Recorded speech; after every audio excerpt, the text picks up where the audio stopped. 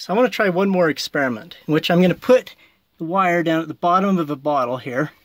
I'm going to fill this with mercury, and I'm going to put this electric current through the mercury itself and see if the mercury will spin. All right, here we go. Electricity on.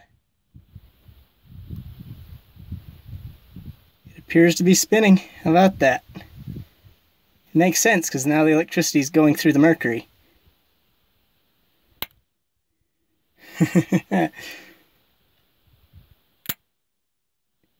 Ooh.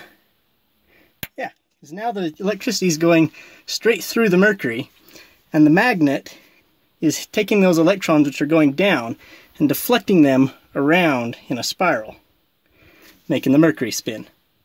That's cool. Let's go ahead and see what happens if I hook both electrodes up at the surface of the mercury. The electrons are deflected at a right angle from their motion because of the magnet. This applies a force to the mercury, causing it to move.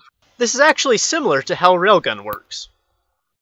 Okay, saltwater solution is in place. Let's go ahead and run the electricity and see if it spins like the mercury did. Now instead of electrons, we have hydronium and hydroxide ions flowing through the solution. Since they have a charge, they are also deflected by the magnet. Positively charged hydronium clockwise, and hydroxide ions counterclockwise. If you'd like to learn more about how electricity is deflected by a magnet and how this was used to make the world's first electric motor, please check out this video that I did last summer. Link here and in the description. I'll see y'all next time.